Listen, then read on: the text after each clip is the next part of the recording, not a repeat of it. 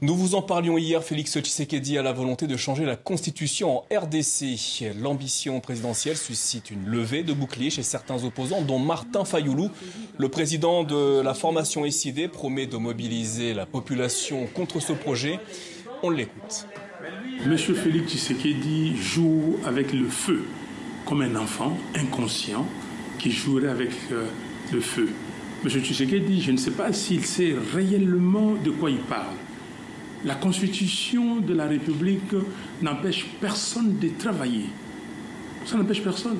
Alors j'ai l'impression que les six ans qu'il vient de passer, quand il a usurpé le pouvoir du peuple congolais, et ces six ans, il n'a absolument rien fait. Est-ce que la Constitution l'a empêché de recouvrer nos territoires Est-ce que la Constitution l'a empêché de gérer le pays correctement? Monsieur Félix Tshisekedi est en train de distraire les Congolais. Des propos recueillis par Dadi Songo Ozo.